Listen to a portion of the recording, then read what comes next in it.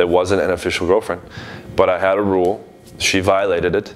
It seemed shady. She, st- she stuck around for like two hours, crying, I love you, pleading with me for not to do this, et cetera, et cetera, telling me that I'm, I'm totally mistaken, et cetera, et cetera.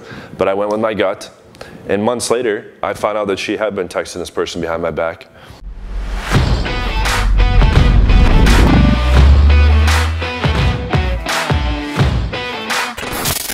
What's up guys, John Anthony here from John Anthony Lifestyle. Today I want to talk about the notion of things seeming shady. Okay, sometimes when you're talking to your girlfriend or your rotation girl or just any girl that you are seeing in general, regardless of the label, something might appear as shady. Okay, and I'm going to go over what it means when something is shady and how you should deal with it. Okay, before we continue, if you are new to the channel or not yet a subscriber, I offer extremely efficient, effective, and optimized dating advice, the best in the world. Coming from a background of engineering, computer science, I've made the entire game very systematic and repeatable. So subscribe below and press the notification bell to never miss a video new videos every single day throughout the year.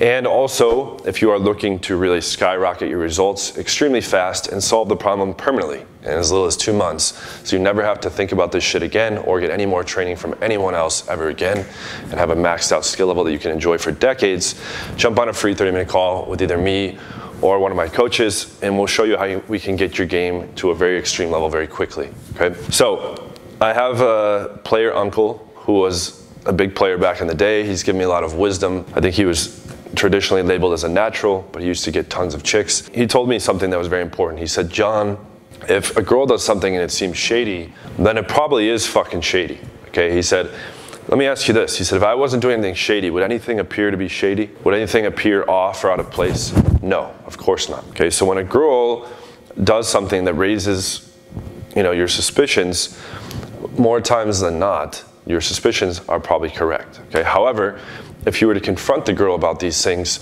she's just going to tell you what you want to hear. That's what you would do too. That's what anyone would most likely do. Okay. So instead of asking for her version of the story, or instead of discussing and say, hey, is what I think here actually true or, or whatever, that's a bunch of bullshit. Okay, and that's just going to give you, you know, she's going to give you acceptable answers that you're either going to have to deal with or not but the facts remain the facts. So he said in these situations, you want to look at it like a judge. Okay, of course she's going to give you explanations.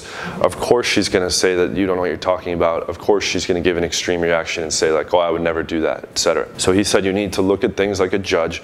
You need to weigh the evidence and you need to make a decision and go with what your gut says. Okay, and if you decide that she's, you know, pulling some bullshit, then all you should see is the gavel raining down and be thinking to yourself, guilty, guilty, guilty. It doesn't matter what her fucking explanation is. It doesn't matter what her defense is, okay? And this ties in to having boundaries as a man, which I will link at the end of this video, and we'll put the link in the description for that video. But I talk about in the boundaries video, if the girl ever pulls some kind of bullshit that you should address and say, listen, I don't put up with bullshit. That's not tolerated. And when she tries to defend it and argue it, you don't get into an argument with her or defense because she's going to twist the logic around and she's going to import a bunch of extra things and try to turn it back on you and, and try to vindicate herself. Okay, so instead, you don't engage the argument, you just say, listen, that was bullshit. I don't put up with bullshit. I thought you were cool, but then you went and pulled this bullshit. Now I'm not sure if I want to see you anymore. And then it's your judgment call if you want to cut her off right then or if you want to give her like one firm warning and then cut her off later. Okay, I'll give you an example. I had a rotation girl. Uh, we had a bunch of girls we were seeing on the side as well. She was cool. We were doing pickup together. And I told her, I don't want you texting with other dudes. Okay. One day after a threesome, I walked into the bathroom. She was blow drying her hair. I saw on her phone that she was texting with a dude. Okay. And I, I saw, and then I, I you know, this is, a, this is an example of directly catching them. But I came out, and then later when she came out, I'm like, hey, you're not texting with any guys, right? No, I would never do that. Oh, well, I saw that you were texting with this dude. Oh, well, he's just a friend. Okay? And, you know, I had seen part of the conversation where she's like, oh, I'm to be running late, this and that. And I said, are you trying to meet up with this guy? No, I would never do that. Okay. Right? And now here's an example where you're looking at the evidence, looking at the facts. Of course, they're not going to admit it. She starts swearing on her like uh, dead, you know, uh, parental figure's life, swearing on like, you know, our, her love for me and, and um, you know, even even third party, like she's like, oh, this this female friend we're both friends with. I swear on our my friendship with her. However, the facts looked bad. Okay, so I went with my gut, and I said, that's it, we're done. Okay, now this is a girl I've been seeing for several months that was open to me seeing other girls that I had threesome stuff with that wasn't an official girlfriend. But I had a rule. She violated it. It seemed shady. She, st- she stuck around for like two hours crying, I love you, pleading with me for not to do this, et cetera, et cetera, telling me that I'm, I'm totally mistaken, et cetera, et cetera. But I went with my gut.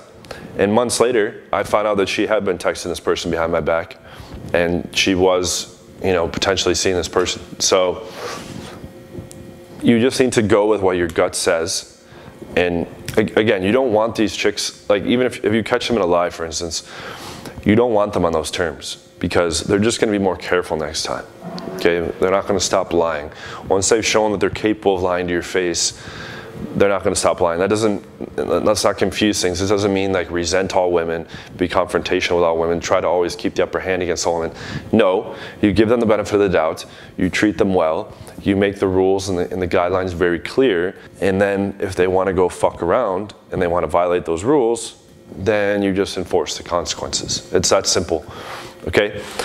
And this, this should be true with anyone, with guy friends, with family members, with anyone in your life you should have boundaries. And if something appears shady, okay, there, like I said in the beginning, nothing should appear shady if there's nothing shady happening. So if something appears shady, it probably is. So the moral of the story is go with your gut, weigh the evidence for what it is, make a decision like a judge.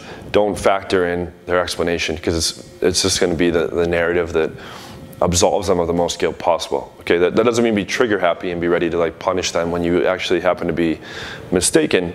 But just be cognizant of the fact that many men for many generations have you know, been taken for a ride, so to speak, a proverbial ride. Uh, when they catch a girl, or they, they see a bunch of things really suspicious, and they say, "Hey, what's this?" And they'll say, "Oh, that's nothing," right? You're never gonna see, or very rarely, you're, you're gonna see them like bang some other dude or like doing something else that you don't want them to do. Okay, but when you have evidence pointing towards that. You don't actually need to physically see the thing happening. Okay, you can put two and two together. It's a simple logical jump. And then you need to enforce consequences. So I hope that was clear. I hope that was a good message for you guys. If you want to get very good at the game, dial in all of your internal mindsets as well, all, as, well as all of your outer game tactics and strategy. Jump on a free 30 minute call with me. Link is in the description. Also, if you're not yet a subscriber or you're new to the channel, please subscribe below for new videos every day. Press the notification bell so you never miss one of those videos. Thank you so much for watching, guys. Like, comment, and share. And I will see you on the next video. Take care. Some do it for the income, but we do it for the outcome. Some of us are active while others just their mouth run. No doubt, son, this is not just about fun. We will not be outdone by these cowards who shout scum.